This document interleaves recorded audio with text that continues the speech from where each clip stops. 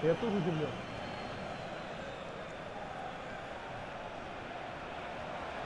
Вот он.